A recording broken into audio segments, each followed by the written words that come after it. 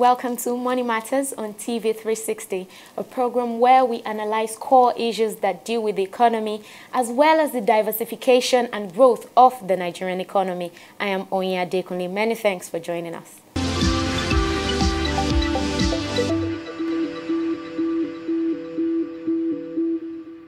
Since Nigeria's independence in 1960, agriculture had been the mainstay of the nation's economy, providing the largest portion of foreign exchange inflow into the country.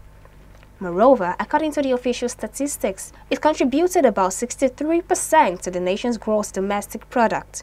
The incomes were derived from the export of major cash crops such as rubber, cocoa, palm oil, cashew nuts, groundnuts, and cotton, among others.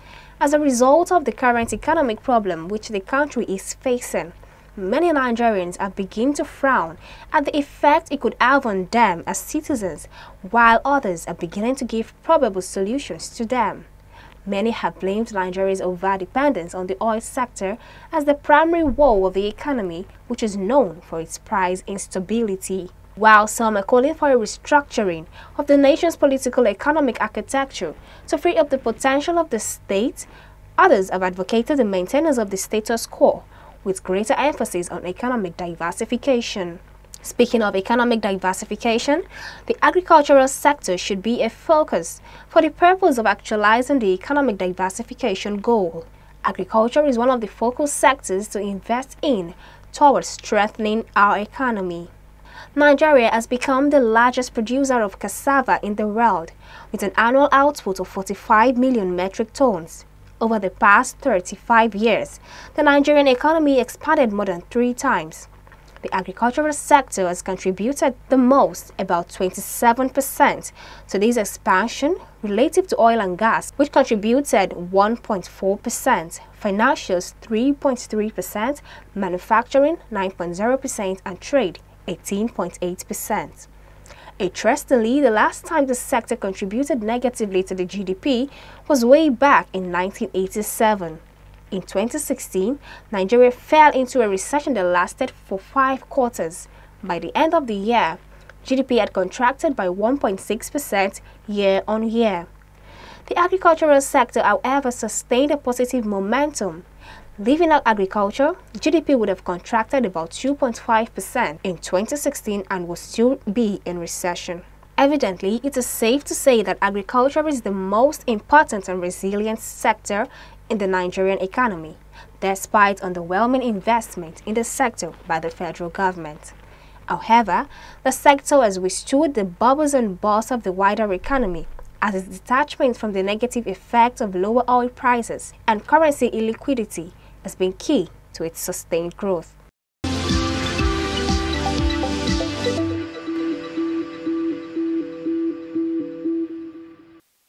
Now, the federal government had in March launched the Economic Recovery and Growth Plan, EGRP, with focus on agriculture as one of the key sectors.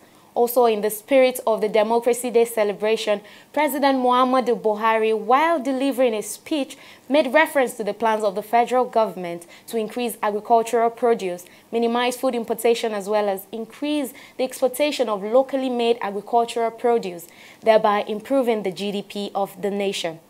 Under agriculture, Nigeria continues to pursue a strategic food security program built around self-sufficiency and minimization of import dependency. As a result, rice importation from other countries has been cut down by 90%, which has a direct impact on foreign reserves. Meanwhile, some analysts have come with the opinion that Nigeria shouldn't make another mistake of depending only on agricultural produce, as they pointed out that mistake made in the sole dependence of the oil sector in the economy shouldn't be repeated. Now, this week on Money Matters, we had a chat with Mr. Johnson Chukwu, that's the Managing Director of Cowry Asset Management Limited, and here was what he had to say.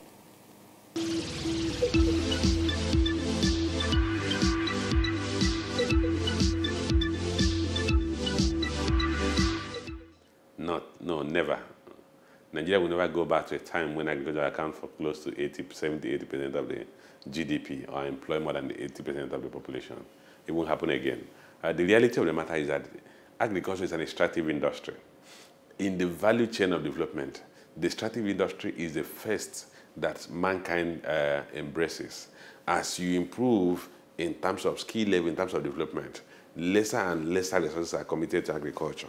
But agriculture may still be very productive, but the level of resources in nationalists, the level of national resources committed to agriculture will continue to decrease as that country improves in its uh, level of development. So we will never go back to that level of development.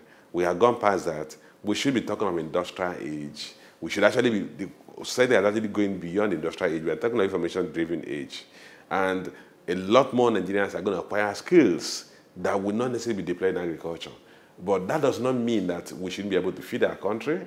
That does not mean that agriculture should not improve on its productive, productivity. But in terms of share of GDP, in terms of uh, share of number of employees, share of export earnings, I do not see agriculture going back to that. I, I'm not even, it's not even something anybody that should wish Nigeria that we should go back to a time when Nigeria was purely dependent on the extractive industry.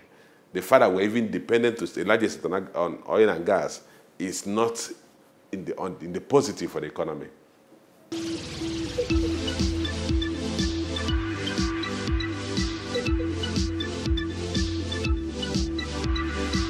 Yes, what, what, what I would say is that we should, our focus on agriculture should be on improving the level of productivity, um, bringing commercial agriculture into play, um, having a few big farmers who can produce enough, not just to feed the country, but also export.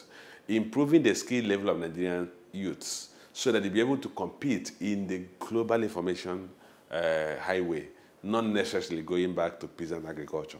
Uh, that's, that's my take. Uh, that we should broaden our the contribution of the more value-added sectors of the economy into the GDP and not go going back into the basic production of food and food items as a major source of sustenance of the economy.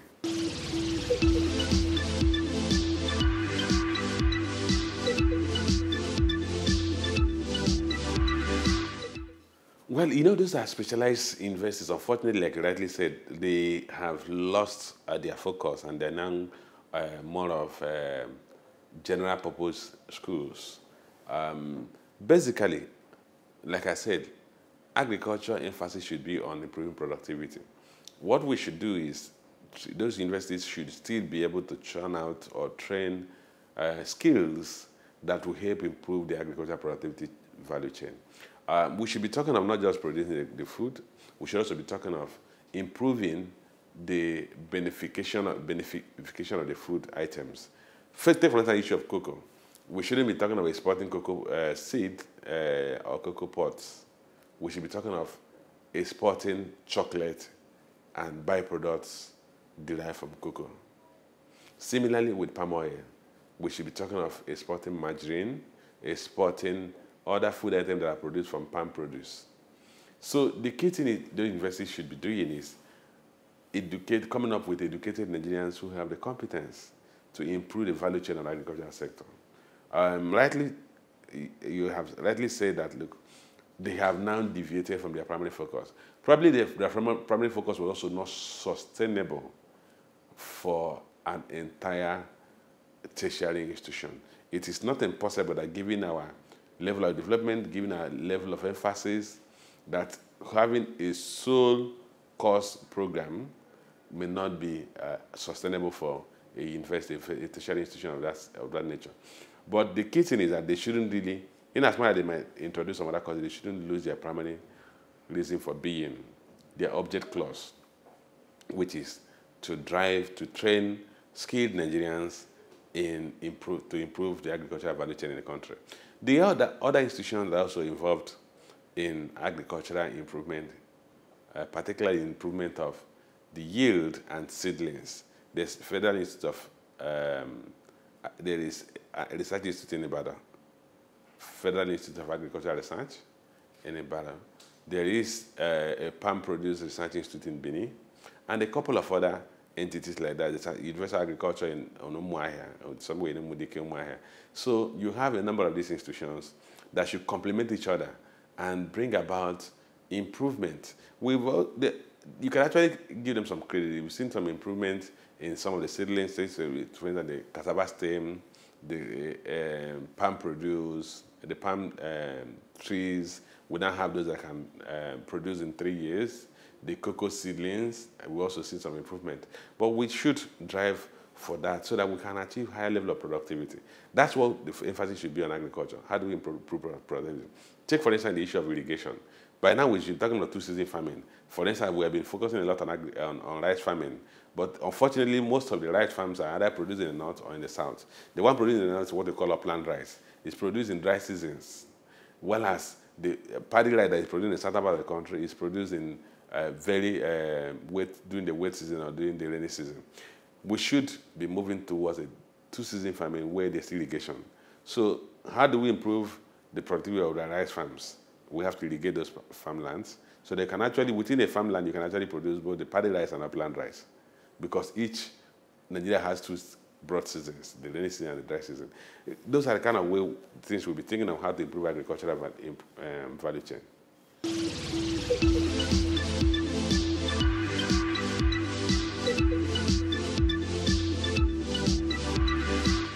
For instance the issue of cassava production. A lot of the cassava we produce are actually wasted. But cassava is what we use for making starch.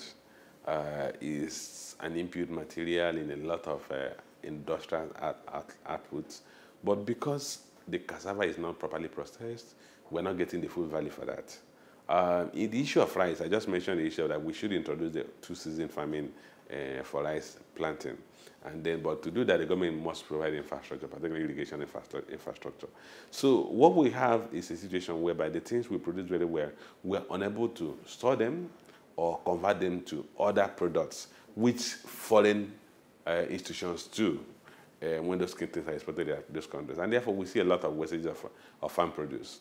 And we're not able to get the full value for that. And because of that, the, poor, poor, the farmers are quite poor because when they have large wastages of their produce, they are unable to get value for whatever they have produced. So we need to address that. With their silos that are for cereals across the country, but we should also look at how do we preserve tuber, uh, like cassava and yam. We must find a way of preserving them. And the way we cannot preserve cassava, for instance, then how do we convert to other high-value products that are used in industrial, for industrial purposes? So that, those are the challenges we have as a country. We need to have um, what they make a policy on agriculture that specific to each of these pro food produce we can produce. there was actually a cassava, um, a cassava um, program or policy that was um, the government came up with.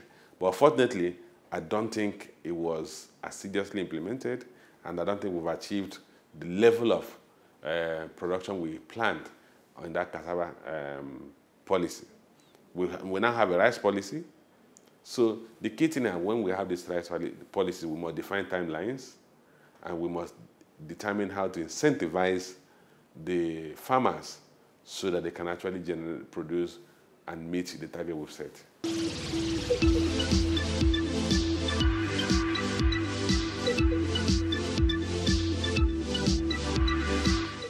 Well, in, in, for instance, in poultry, we've seen a lot of improvement in poultry um, farming since the banning of poultry products coming to the country. We've seen a lot of improvement. And like I also said, we, we also need to improve on our extension, extension services. I think that's one of the challenges. We used to have a lot of effective extension services. We need to reintroduce that so that um, skilled, educated people can handhold the farmers and teach them basic rudimentaries on some of these uh, farming uh, mechanisms um, issue of poultry, a couple of people have gone into poultry without even understanding the technicalities involved, and a lot of times they lose their, their, their, their flock. So we need to address that. Um, if you look at agriculture as, like you mentioned earlier, that's the largest share of the GDP. Agriculture accounts about 21.6% of the GDP. Rightly, is a, has the largest share of the GDP. Uh, but the kitchen is largely um, subsistent. It's largely one of peasant farming which is why you have a lot of uh, headcount in that sector. We need to address the issue of Land Use Act or access to land so that people can actually go into commercial farming. It's actually commercial farming that will actually lead to improvement in really food, in food production because that's when you optimize based on capacity.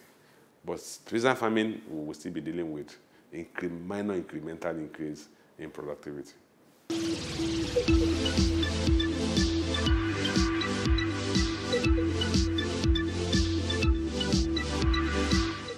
The basic thing we need to do is expand the agricultural value chain beyond producing the feedstock, the raw materials, uh, the basic output of the farm produce. We need to build factories that will process these um, agricultural products. We should be in a position, because that's when the um, youth will get employment in the factories, they get employment in the marketing of the final products, get employment in the export of the final products. And ultimately, if we had an improvement in the value chain of whatever we produce agriculturally, then we are also going to be in a position to export products beyond crude.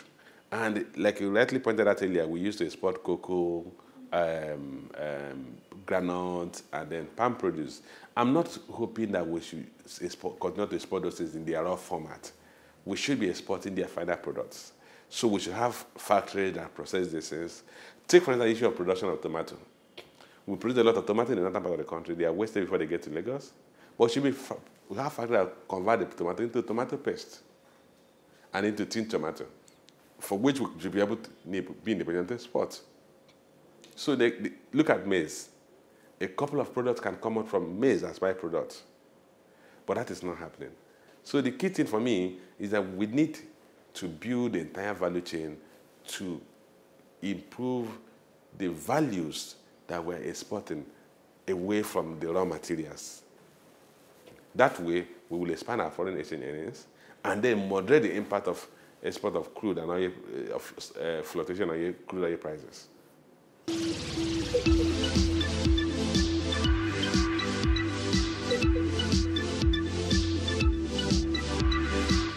For me, the first thing is that we need to improve the value chain in the agricultural sector.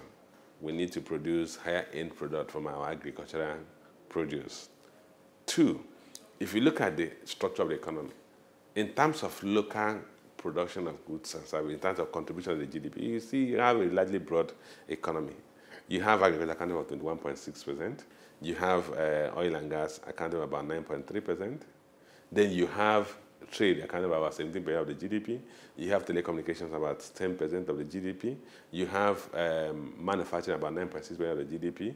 Then you have um, construction at about 5.4% of the GDP. So if you look at that broadness, but the key thing, a lot of them do not have export earning capacity.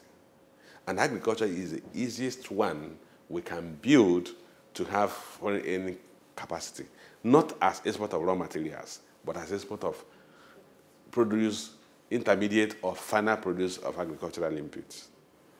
And that way we'll really diversify our foreign. In terms of contribution to the GDP, the GDP is largely diversified, but foreign capacity, most of the other sectors, your construction industry does not have capacity in foreign exchange. Your trade sector is basically an import-dependent sector. Uh, the manufacturing sector is not creating high-value products as to export. So, but agriculture sector we can easily build the factories and improve the value chain, chain and increase the, our export capacity.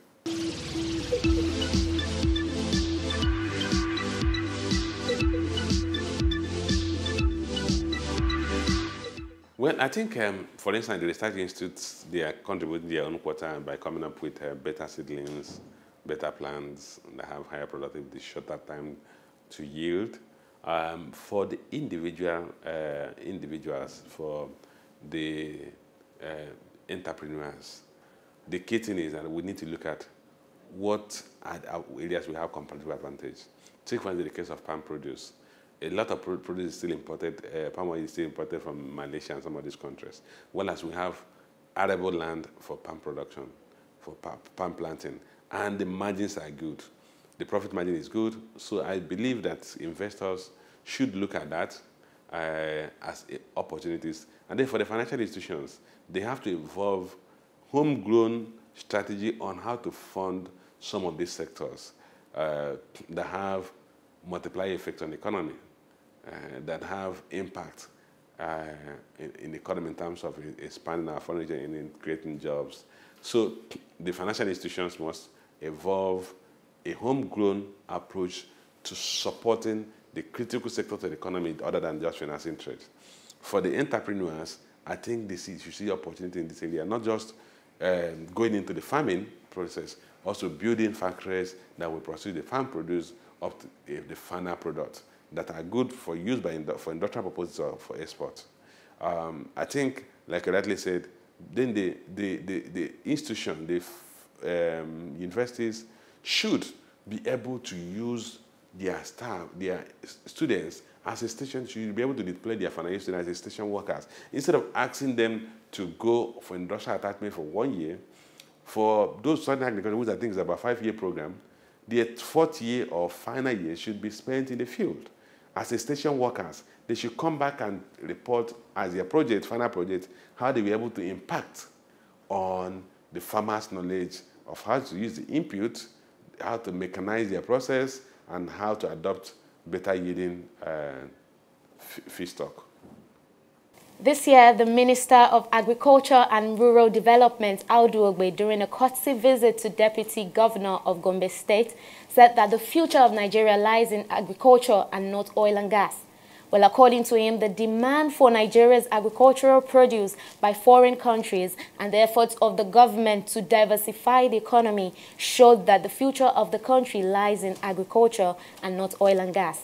He said in a quote, the key to Nigeria's future is not oil and gas, but agriculture. We must have, we must have to settle for agriculture, which is our gift from God. Poverty is the biggest threat to Nigeria's survival. Our task as government is to lead Nigeria out of poverty, and we are doing that with the kind of progress we have made so far in the agricultural sector. The Chinese are depending for 2 million tons of soya beans. The Indians are looking for our produce also. With these demands, we must all be involved in agriculture. It is the constitutional right of everyone in government to own a farm. So I encourage, to, I encourage everyone to help out in this regard the Minister of Agriculture, Audu said. Now, many would have it that Nigeria should switch to the agricultural sector, while others have agreed that although it should be focused upon, it shouldn't be solely dependent on. Well, that's it on Money Matters on TV360. Do join us again next week. I am Oyin Adekunle. Thanks for watching.